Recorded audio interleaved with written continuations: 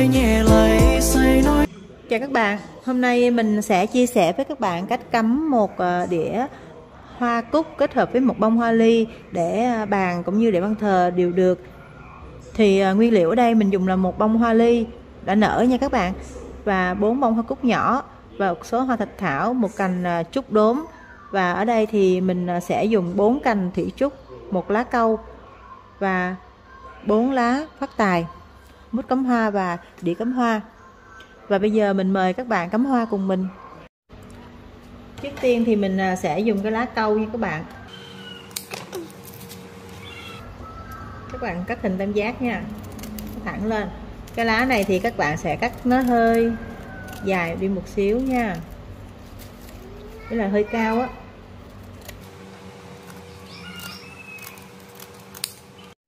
Sau khi cắt rồi thì các bạn sẽ cắm ở phía sau của cục xốp nè, ngay ở giữa nè, lùi về phía sau nha, xoay cái mặt lá trái, cắm thẳng xuống.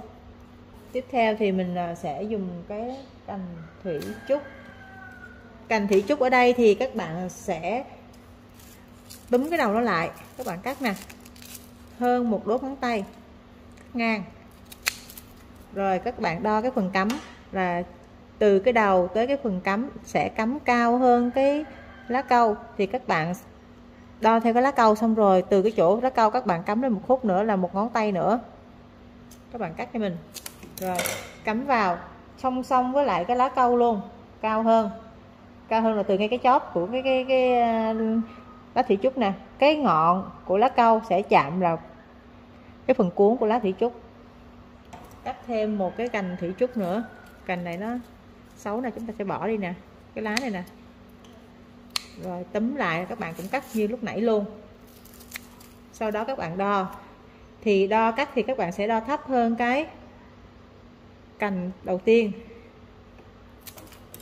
Ở đây các bạn sẽ thấp hơn là một đốt ngón tay. Cắm song song. Tóp này nè, đậu chúng mấy cái cuốn luôn đó các bạn. Theo thì à, cái à, phần gốc này nè, các bạn tước cái lá này đi. Rồi, bẻ hai đốt ngón tay.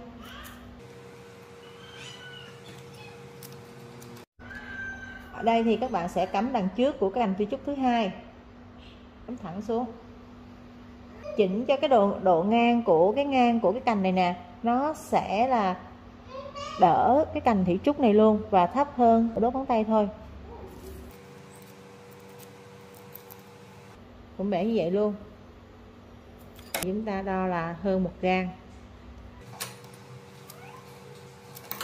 Rồi chúng ta cắm phía bên hông, bên tay phải cắt thêm một cái cành thủy trúc nữa.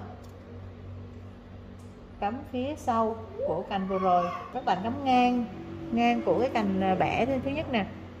Cắt thêm một cái ngọn lá thủy trúc nữa, các bạn sẽ cắm phía sau của cành mà mình bẻ đó. Ngang với lại cái cành bẻ thứ hai nè. Tiếp theo mình à, sẽ cắt lá phát tài. Ở đây là mình sẽ dùng cái lá phát tài làm tâm điểm các bạn cắt và tỉa nó hơi nhọn một xíu như vậy. Đây, nó hơi bầu bầu nhọn nè. Nhọn cái đầu nha. Lớp phát tài cắt đầu tiên, các bạn sẽ cho ngay ở giữa cái miệng của cái đĩa hoa. Cắt cái đĩa hoa một xíu thôi. Đó, sáng như vậy nè, các bạn cắt lên một xíu thôi. Các bạn cắm hơi xiên ha. Cắm hơi nghiêng nè. Đây, cắt cái góc trước.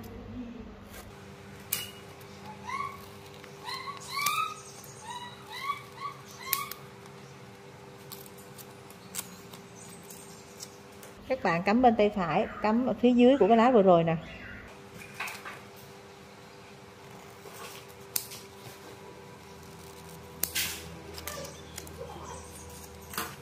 Tiếp.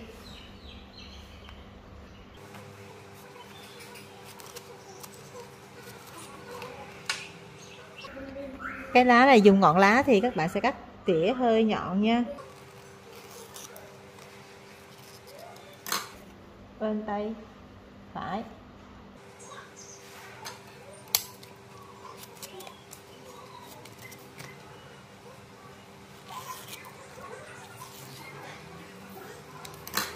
Bên phải luôn cắm phía sau nè.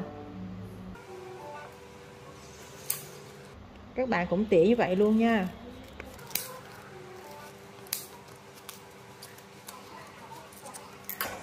Cắm ngay cái đĩa hoa nè, cắm phía trên, cắm ngang ngang ha.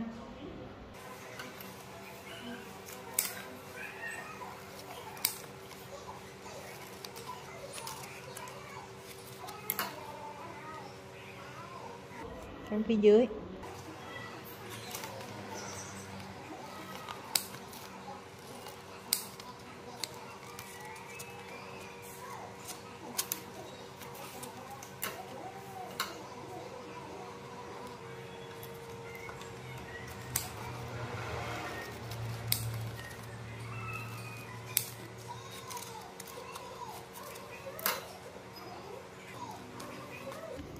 Dùng hai cái ngọn lá cắm tương tự phía bên còn lại á.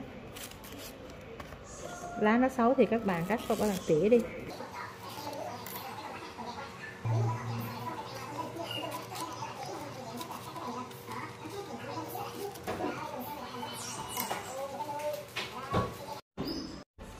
Đây mình sẽ dùng hoa cúc mình dùng à, cái hoa nhỏ trước nha.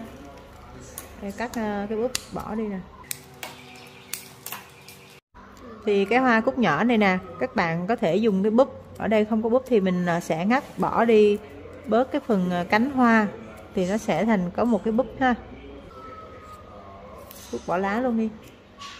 Cái chiều cắm của hoa nè, các bạn đo theo cái cành thủy trúc, bẻ thứ hai nè, cắm ngay xen kẽ vào. Tiếp tới cái hoa cúc tiếp theo thì à, cái phần này gãy mình cắt bỏ nè.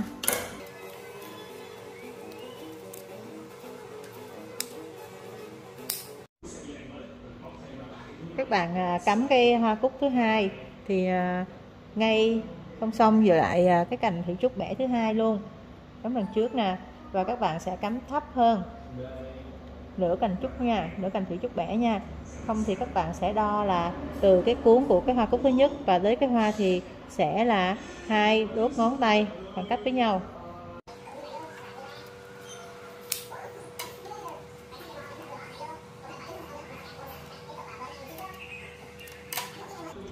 Cái cành ờ, hoa cúc thứ ba thì các bạn cũng có thể để lại một cái búp ờ, búp nhỏ kế bên.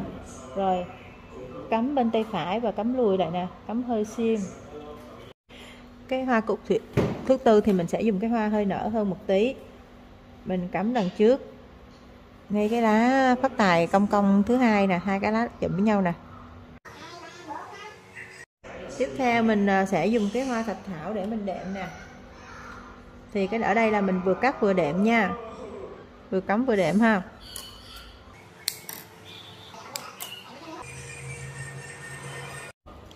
Tiếp theo mình à, sẽ dùng một cái hoa ly để đồ cong. À, các bạn cắm xuống thì nó sẽ hoa sẽ ra phía trước và cắm lên thì xe, hoa sẽ nó hướng lên. Đó bây giờ mình sẽ cắm cái hướng cong ra ngoài nha sẽ xích hoa vô. Vô trong cục xốp là từ cái cái đầu cục xốp vào là hai đốt ngón tay là các bạn cắm nè. Và hoa nó sẽ rồi tiếp theo thì mình cũng sẽ dùng ờ, hoa thạch thảo để mình đệm ở phía sau của cái hoa nè. Cái hoa này mình mới cắt xong nè. Xong hoa ly nha.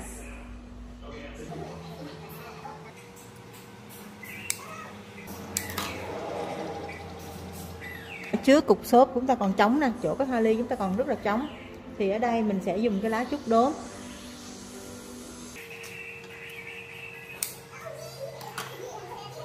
Cái chất đốm này thì mình cũng không cần tỉa luôn nha. Mình cứ đệm vào cho nó có độ dày với lại cái độ nổi của, của cái bình hoa thôi.